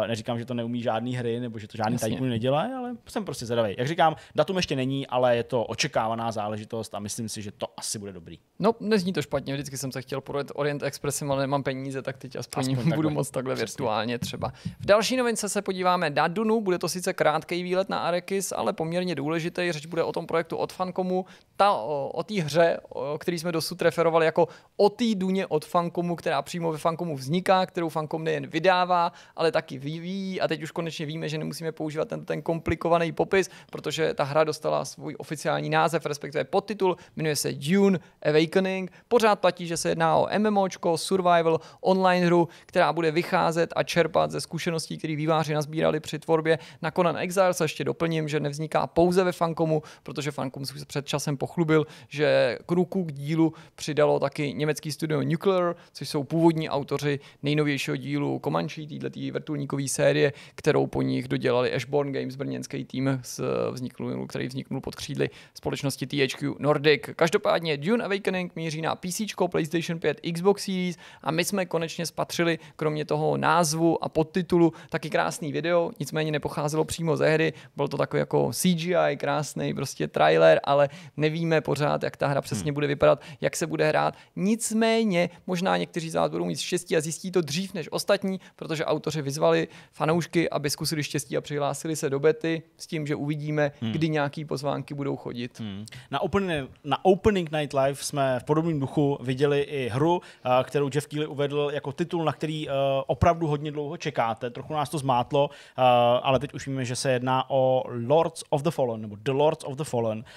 Nechci říct The Lord of the Fallen 2, ačkoliv tak je to často prezentovaný, protože tahle hra skutečně nemá žádnou číslovku ani podtitul, ale jde, jak říkají sami výváři, o duchovní pokračování Lords of the Fallen, uh, Souls-like záležitosti z roku 2014, kterou vyvinulo studio Deck 13 a uh, samozřejmě i CI Games. Uh, o tom, že by měla vzniknout uh, dvojka, to pokračování, o tom bylo rozhodnuto už v roce 2014 a vlastně došlo i k oznámení toho, mm-hmm. že uh, to pokračování vznikne. A původně se tomu nastavilo uh, datum vydání nebo termín vydání rok 2017. Ale uh, když to nepřišlo a došlo na nějaký jako informace o tom, že ten vývoj jde špatně, že se to příliš nedaří a pak to bylo odloženo na neurčito, tak až po třech letech, až v prosinci 2020, uh, CI Games převzali zodpovědnost za ten projekt, vzali ho vývářům z Defiant Studios, kteří na tom v tu, v tu chvíli pracovali, nasadili Hexworks, a to jsou teď aktuální, tedy autoři mm-hmm. uh, tohohle z toho duchovního pokračování a ti to dotáhnou v příštím roce do konce na PC a na nových konzolích, PlayStation 5 a Xboxu Series. Uh, to uh, studio, který na tom pracuje, tedy ty Hexworks, uh, to je studio, který uh, je, nebo sídlí v Barceloně a v Bukurešti a ten projekt, který vzniká pod rukama, je skutečně jako next gen vizí The Lords of the Fallen. Uh, nebude to úplně jako přesně pokračování, tak jak byste asi úplně očekávali se všema jako spojnicema, ale přesto neodehrává se ve stejném čase, odehrává se tisíc let po té jedničce, takže uh, je to fantasy svět, takže tam jako nedošlo k nějakému zuřivému pokroku a nebudou tam žádný lasery a podobně a pořád to bude, pořád to bude fantasy, ale působí to vlastně docela jako pěkně, docela, docela dobře, pořád to bude akční RPG s těžkýma soubojema, budete se pohybovat ve dvojici paralelních světů, to znamená svět živých a svět mrtvých je to takový temný křižák, který si bude uh, chtít snažit uh, svrhnout démona Adira, on to nějaký šéf těch démonů, takže zachránit ten svět logicky. Uh, hra bude obsahovat i online složku, budete moci hrát v kooperaci, společně, anebo proti sobě v takových těch klasických režimech, které jsou hry nabízí. Ta hra má být pětkrát větší než jednička, to je těžce jako představitelná mm-hmm. nějaká veličina, ale prostě jednoduše má být mnohem větší. Máte mít kompletně možnost upravit svoji postavu, zvolit si, jak bude vypadat, co bude mít na sobě a pak samozřejmě už jenom v rámci uh, té hry vylepšovat její schopnosti a budete taky kouzlit a budete muset dávat velký pozor ještě jednou na ty souboje, které prostě jednoduše jsou Souls-like, mají být těžký a pokud nehrajete Souls-like hry, tak pro vás asi Lords of the Fallen nebude. Já tu mám další podobný příběh, protože v předvečer Gamescom byla znovu po dlouhých letech oficiálně představená další odkládaná, netrpělivě očekávaná hra a sice Dead Island 2. Oficiálně tenhle ten titul zpátky, známe podrobnosti o něm, máme obrázky, viděli jsme video a my budeme mít dokonce dojmy ze hry, které vy uvidíte v blízké době, už jsou mhm. natočený, čekají na nějaké zpracování a vydání. Platí, že o tu finální verzi nebo o tu verzi, která to dotáhne do cíle, se postarají eh, britští výváři ze studia Dembuster poté, co přejali tenhle ten titul nebo tenhle ten projekt po, eh, ze svých kolezích ze studia Sumo Digital a ti zase to převzali po Jägeru. Dead Island 2 vyjde už 3. února 2023, už, no jak to vezme, no. už relativně od tohoto bodu a až když se podíváme na to, kdy byl oznámený, míří na PC, starý i nový konzole, vezme nás do Hell A, takový jako apokalyptický verze LA, samozřejmě zasazený je to do Los Angeles, ale tenhle ten titul používají prostě výváři Helej a nabídne několik hrdinů. Víc si schovám na ty dojmy, hmm. respektive schováváme na ty dojmy, tam se věnujeme takovému detailnějšímu rozboru toho, tomu, jak se to vlastně hrálo, protože jsme měli hmm. možnost si to vyzkoušet. Další taková krátká zprávička se týká hry Return to Monkey Island. Na Open, Opening Night Live jsme už dopředu věděli, že uvidíme nějaký trailer, to se splnilo, máte možnost podívat se na pár dalších střípků z vlastního gameplaye, ale na konci přišlo to důležitý. Hra Return to Monkey Island vyjde 19. září na PC a Switch. Uh, to datum nebylo vybrané úplně náhodně, protože je to Mezinárodní den mluvení jako pirát. Je strašný. Já nechci mít Mezinárodní den mluvení jako pirát. Jenže už je, je to, je to, je to blbý, ale je to. Určitě i Mezinárodní den mluvení jako Klingon. Třeba, dobře. Uh, je nutný samozřejmě připomenout jenom k tomu Monkey Island v krátkosti, že je to ta hra od Rona Gilberta, Davea Grossmana, samozřejmě hra, která teda bohužel po svém oznámení si prošla určitou takovou jako fází uh, ne, nehezkého přijetí uh, od nejvěrnějších fanoušků, kterým se prostě jednoduše nelíbí to vizuální zpracování. Pravda teda, že jako ty záběry neudělali příliš mnoho pro to, aby nám to vizuální stvárnění nový, nebo ten styl jako úplně prodali, prostě, nevím, asi jsem čekal víc záběrů, o tom jsme se tak trochu bavili během toho přenosu. Uh, ta uh, hra Return to Monkey Island přichází samozřejmě po více než 30 letech po té, co uh, Gilbert udělal Monkey Island 2, a pak už s Monkey Islandem neměl nic společného a sám prostě mluvil o tom, že jako nechce měnit to, co už přišlo po té dvojce, to znamená trojka a pak ještě ty další věci a prostě jako jenom, že se tak do toho jako vklíní a že to bude ta jeho část.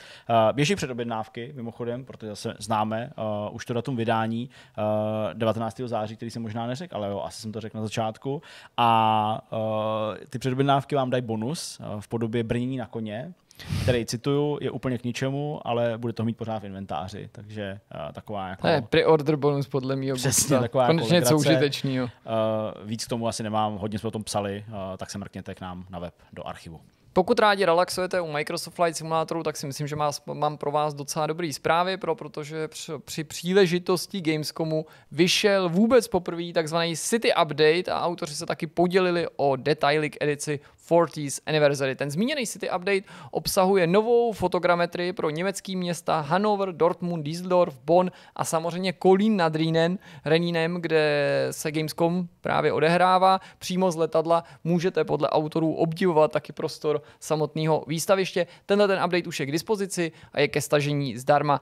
Microsoft Flight Simulator, ale jak už bylo řečeno, se chytná, chystá rovněž na, to, na ty oslavy 40. výročí této značky a i při této příležitosti dorazí speciální rozšíření, už o něm byla řeč dřív, vyjde opět zdarma, naplánovaný je na 11. listopadu a poprvé od roku 2006 přinese oficiálně vrtulníky a kluzáky. Pokud ale takovýhle novince nefandíte, tak by vás mohlo zaujmout, že vedle nich se ve hře objeví taky fanoušky velice žádaný Airbus A310 a v něm má podle vývářů autenticky pracovat téměř každý tlačítko, který v tom kokpitu najdeme. Tým se taky chystá připomenout další eh, významný kapitoly historie letectví a to se sedmi slavnýma strojema, i o nich už jsme mluvili v minulosti, připomenu, že to budou letouny Wright Flyer, vůbec ten první, že jo, pak Curtis, J and Jenny, Spirit of St. Louis, Douglas DC-3, uh, Grumman G21 Goose, De Havilland Canada, DHC2 Beaver a konečně Hughes H4 Hercules. Můžete ho znát třeba z filmu Letec, Leonardo DiCaprio, to je ten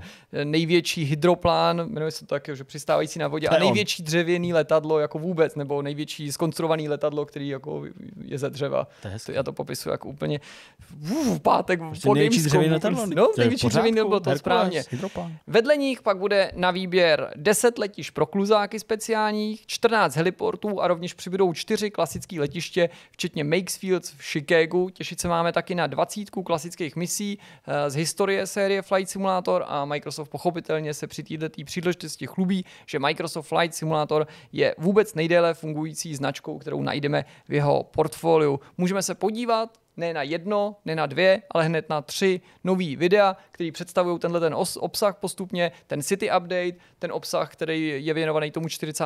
výročí značky, ale taky na novou lokální legendu, kterou v tomto případě bude Junkers F13. Hmm, hezké, hezké. No, pojďme dál, pojďme k Opening Night Live ještě zpět, uh, protože tak nějak dopředu jsem furt jako uvažoval nad tím, nebo spíš jsme spekulovali, zda tam bude Hideo Kojima, když je jako velký přítel Jeffa Keelyho, jestli tam třeba náhodou nechci už konečně oznámit ten svůj nový projekt. A ono na to došlo. Normálně Jeff Keely prostě řekl... Já je to tomu tady. taky nevěřil. Normálně se tam objevil fakt všichni, jo. Řekli, že tam sice nemůže být fyzicky, ale že tam prostě má vzkaz. Jedno, a- když oznámí novou hru. Přesně. Takže se objevil Hideo Kojima ve své pracovně nebo nějaký ze svých pracoven uh, v nastylovaném pěkně uh, krásným obrazu a začal mluvit o tom, že teda oznámí nějaký svůj nový projekt. Všichni na to čekali a tím projektem je podcast, který se jmenuje Brain Structure. Ten podcast má premiéru 8. září, můžete si ho poslechnout v angličtině a japonštině a údajně vás vezme do mysli slavného vývojáře a designéra videoher Hideo Kojimy. No. Tak, eh, tak jo, tak pro Hideo Kojima tam bude hrát nějaký jako písničky v předělech mezi těma tématama. Ten vidcast má, par- pardon, podcast má vycházet každý čtvrtek exkluzivně na Spotify, jinde ho nenajdete.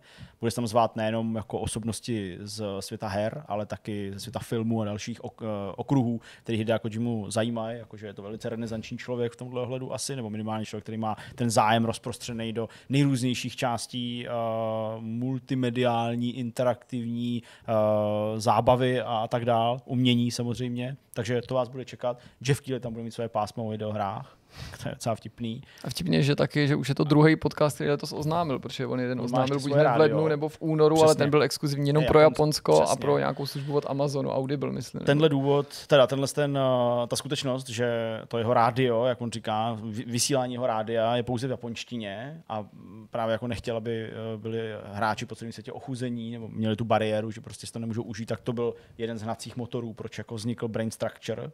Ten teda říkám v japonštině, ale bude i v angličtině. Jako, protože to poslechnu, mě to jako zajímá.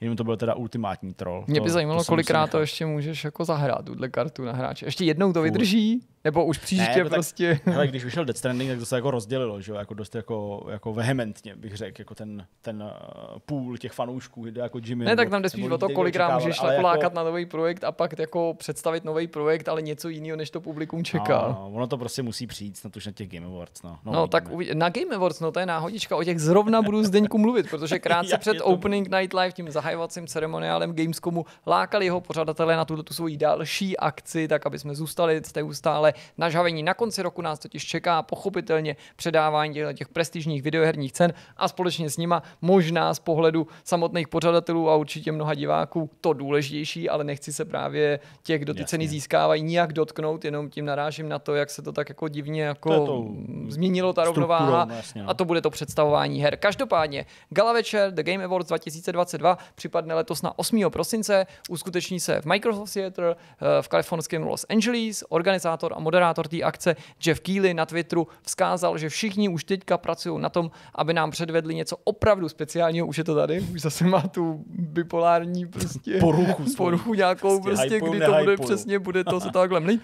Jde už o devátý ročník mimochodem, ale letos Vůbec poprvé se bude udělovat cena za nejlepší adaptaci, Aha. Kde se bude oceňovat eh, autentická adaptace videoher do podoby jiných médií. Nejčastěji předpokládá se, že půjde o filmy a seriály podle her, nicméně i podle popisu té kategorie samozřejmě může dojít na knihy podle her, komiksy podle her, nebo třeba dokonce podcasty, nebo nějaký dramatizace, prostě audiohry, dejme tomu něco podobného. Tu show samozřejmě jako každý rok budou pořadatelé streamovat do celého světa na všech možných platformách a sociálních sítích a určitě bude zajímavý sledovat, zda se pořadatelům opět podaří zlomit nějaký rekordy sledovanosti. Hmm. Dobrá, tak uh, ty jsi říkal Game Awards, datum, tak já řeknu Gamescom, protože rok 2023 sice tady není, ale bude a Gamescom se bude odehrávat příštím roce, pokud se nestane něco zlýho a pokud vás to zajímá a chcete mít ty data vyblokovaný, tak uh, Gamescom 23 započne 23. srpna, bude trvat do 27. srpna, uh, přičemž to ještě celý uvede právě taky show Jeffa Keelyho Opening Night Live, to, který jsem mluvil před chviličkou. Ta se odehraje 22. srpna, jako to bylo letos, to znamená den před zahájením, uh, zahájením toho uh, samotného veletrhu. No a všechno logicky proběhne na Kölnmese v Kolíně nad Rýnem. No teďka se na chvíli odpočineme od takovýchhle akcí a zahledíme se do minulosti, ale nepříliš vzdálený, vrátíme se do momentu, kdy se začal vyvíjet Resident Evil 7. Ano. Tehdy to nejnovější chystaný pokračování, protože jsme se dověděli, že Capcom si původně přál, aby Resident Evil 7 byl live service hra, s online multiplayerem, to mě překvapilo možná víc než to live service, s mikrotransakcema, ale ten multiplayer ten mě zaujal nejvíc na tom, nebo tak jako popudil možná trošku jako fanouška ten samotný nápad, protože to je to, co zatím v souvislosti s Resident Evilem po každý pokazili, takže vůbec hmm. nechápu tu fascinaci tak, no. Capcomu tímhle tím prostě žánrem nebo tou snahou převíst to do onlineu. Naštěstí výváři si postavili hlavu, byli proti a nakonec si to vydupali, vybojovali proti marketingovému oddělení, který mělo údajně tvrdit, že to je to, co hráči chtějí. Že Capcom musí dělat to, co hráči chtějí. Já jsem si říkal, kde to, to marketingové oddělení vzalo, protože ano, možná obecně tu poptávka po nějakých live service hrách, ale že by zrovna teda fanoušci Resident Evilu volali po eh, live service online multiplayeru s mikrotransakcemi, to nemám ten pocit. Brzy se o tom ostatně přesvědčíme, až zase dorazí ten další pokus, který je stále v přípravě. A jinak autoři řekli, že prostě a zaspomínali, že chtěli udělat skutečný horor, což si myslím, že se jim povedlo. Hmm. Moje další zpráva se bude týkat studia Creative Assembly. Eh, teď je kolem toho tohle z toho studia, který dalo světu sérii Total War dost živo, protože to není jenom Total War, na kterým pracují. Uh, vy víte, a mluvili jsme o tom ještě před Gamescomem, uh, oznámili hru Hyenas, Uh, tu jsme shodou okolností taky mohli pečlivě sledovat právě na uh, Gamescomu, takže se k tomu určitě dostaneme v nějakých, uh, v nějakých dojmech.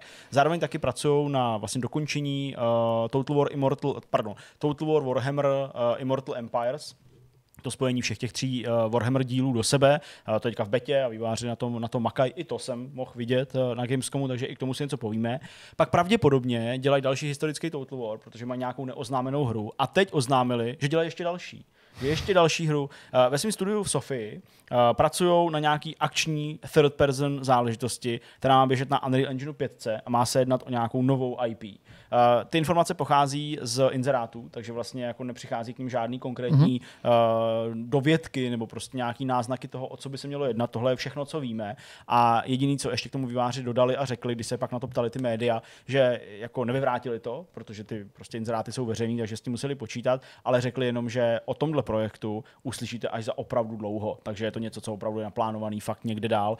A ty věci, které jsem tady zmiňoval, to znamená dokončení Mortal Empires, dokončení Highness nebo vydání a pravděpodobně jak říkám, pravděpodobně uh, ten uh, historický Total War, to všechno asi přijde předtím. Uh, určitě se to dozvíme a je to teda zajímavý, kolik toho najednou má mm. uh, v provozu nebo, nebo ve vývoji, zvláštní. Už jsem tady mluvil o adaptaci Bioshocku, posledně o, po, o adaptaci Gravity Rush a konečně do třetice adaptace Horizonu, tedy značky od Sony a Guerrilla, která se dočká svého seriálu a jeho zpracování jak už nějakou dobu víme a teďka jsme se dověděli, že se na něm podílí tvůrce, scénárista a showrunner The Umbrella Academy Steve Blackman, který taky prozradil, respektive potvrdil, že ano, Aloy bude hlavní postavou, hmm. hlavní hrdinkou tohoto seriálu, což nutně nemusela být, ale teď nemusela, už to víme s jistotou. Jinak oni říkají, autoři tohoto toho chystaného seriálu, že se těší, že budou moci její příběh představit dalším lidem, tedy ne hráčům. Konkrétně, abych Blackmana citoval, tak říká, Horizon Zero Dawn je mimořádně zpracovaná hra s úžasnými postavama, který se v herním světě často nevyskytují. Studio Guerrilla Games vytvořilo neuvěřitelně svěží a živý svět lidí a strojů. No a pro úplnost doplníme, že Blackman se v minulosti podílel i na seriálech Altered Carbon, který můžete eh, v Česku znát pod názvem Půjčovna masa nebo Fargo. Hmm.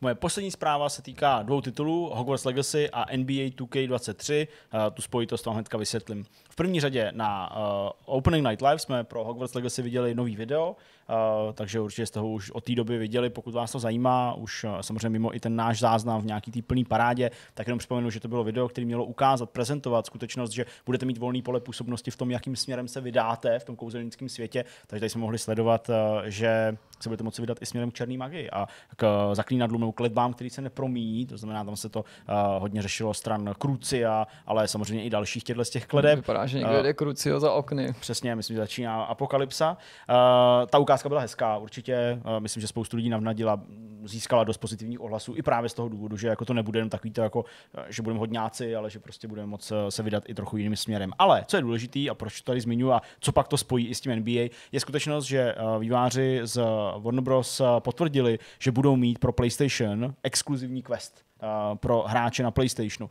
Když to bylo zmíněné na, tuším, v databázi PlayStation Store, tak samozřejmě všichni z toho všimli a ještě se přeptali dál, Warner Bros., jak to bude. Uh, takže komunitní manažer Chandler Wood, uh, mimochodem to se málo ví, ale to je bratranec Olivera Wooda, tak uh, není, uh, řekl, že tahle speciální mise, tenhle ten quest pro PlayStation není vázaný na předobjednávky. Že je to uh, prostě jednoduše verze, nebo že je to prostě jednoduše spojený s tím, že to je PlayStationová verze, ale pokud si chcete předobjednat, uh, tak uh, samozřejmě máte, máte nějaký bonusy. Chvilku se zdálo, že jenom pro PlayStation bude exkluzivní bonus recept na lektvar Felix Felicis, tak to je štěstí. Uh, nicméně pak se ukázalo, že to bude jako všeobecný předmět pro předbědnávky, protože se objevil třeba i v nabídce Epic Game Store, takže není úplně exkluzivní a detaily o tom questu uh, ty nejsou známy v tuhle chvíli. Bude to prostě něco, uh, co odhalí výváři později, nebo možná si to hráči odhalí sami ve hře. No a ta exkluzivita, to je to pojítko s tím NBA 2K23, protože i v tomhle případě má Sony určitý partnerství, v tomhle případě tedy s 2K a potvrdili, že jenom na PlayStationu 5 Eh, budou eh, mít hráči v rámci těch nadcházejících sezon, které tam budou obsahový eh, vždycky jako speciální výzvy, který, mm. když, vy, když vyplní, když se jim podaří je dokončit, tak dostanou nějakou odměnu a ty výzvy se pojí s Michaelem Jordanem a pojí se vlastně jako částečně s jeho velkýma úspěchama, který ty se budeš obecně řečeno snažit nějakým způsobem zopakovat nebo třeba překonat. Ale není to vždycky takhle postavený, ale jsou tam prostě věci, jako já nevím třeba, že uh, Chicago Bulls vyhrálo s Jordanem 70krát v jedné sezóně, tak ty musíš prostě vyhrát třeba 70krát nebo to minimálně vyrovnat a takovéhle věci. Takže uh, s tím to je spojený, je to detailně rozepsaný například na blogu PlayStationu, uh, dokonce jako výhledově prostě na nějakých 13 sezon dopředu, takže uh, máte šanci zjistit, co vás čeká. No a já jsem si na závěr nechal ne jednu, ale hned dvě zprávy, protože původně tam měla být nějaká, ale posléze ji doplnila další, která se stala těsně předtím, než jsme zase zapli kamery, jak tomu tak bývá. Ta první, ta se týká nově oznámené hry, která se jmenuje The Gap. Je to sci-fi first person příběhový explorativní thriller, který hráče vezme do roku 2045. Ujmeme se hlavního hrdiny, který se jmenuje Joshua Hayes, ten má nějaký problémy s pamětí, s pomínkama, eh, uvědomit si, kde se vlastně nachází. Na lístečku si přečte jako nějaký výhružný vzkaz. Nikomu nevěř, ale my, co by hráči, budeme moci zkoumat paralelní reality díky deja vu a díky objevu toho, že deja vu může fungovat jako jakýsi most paralelním světům. Naším úkolem bude zachránit ztracené vzpomínky. Tahle hra míří na PC, PlayStation 5 a Xbox Series. Myslím, že vzniká mm, ve Slovinsku a vydávají nějaký polský vydavatel. Vypadá poměrně zajímavě. No a konečně poslední zpráva, ta je poměrně významná, i když je to svýho druhu taková formalita, ale u těch akvizicí nikdy nevíte. To jsme se dověděli těsně předtím, než jsme začali natáčet. Týká se to společnosti Embracer, lépe řečeno Embracer Group, která úspěšně dokončila akvizici studií Crystal Dynamics, Eidos Montreal a Square Enix Montreal a taky společně s tím těch jejich vybraných značek, eh, včetně IP Tomb Raider, Deus Ex, Steve a Legacy of Kane. Všechny podmínky toho uzavřeného obchodu v květnu byly splněny a transakci tady posvětili už právě i všechny ty regulační úřady. Ty zmíněné studia mají vytvořit vlastní 12. operační skupinu, kterou povede Phil Rogers a jeho tým a později se máme dozvědět nějaký další informace, jak to bude fungovat. A já jenom na závěr připomenu, že šlo o ten překvapivý obchod v hodnotě 300 milionů dolarů, který odborní, odborníci hodnotili jako velice výhodný pro Embracer. A poslední taková jako zajímavostka, ale celkem logická na závěr, studio Square Enix Montreal se samozřejmě brzy přejmenuje, protože to nemůže být Square Enix. Square Enix je dál ta japonská firma, nemůžou, nemůžou se takhle jmenovat. Pravda, to jasně, bude Embracer Montreal. Uh, dobrá, tak uh, prosím vás, já bych teď chtěl být Obelixem a mít na zádech velký šutr, aby mi obloha nespadla na hlavu. abych Vypadá se to, u, mohl, ututaty se prostě. Ututaty se prostě. Radši snad ty římany. Obelu si buď zase Obelix. Uh, radši skončíme a uvidíme se v průběhu tohoto týdne. Ne, to není vidcast, to jsou novinky. Tak uh, vám přejeme hezký víkend, to jsem chtěl říct. Kdyby to byl vidcast, tak řekneme se Protože uvidíme. my ho jdeme za chviličku točit. Právě. A ten Možná. asi bude výživný, protože... Jestli vás neřízne blesk teďka. Já se omlouvám všem za blábolení v uplynulý hodince 15 nebo hodince 20. Fakt už jako jsme takový jako opotřebovaný a toho vidcastu se v tuhle chvíli dost bojím. Ale třeba jako to bude takový jako spontánní, neformální a úplně opilý únavou. Ahoj. Mějte se hezky.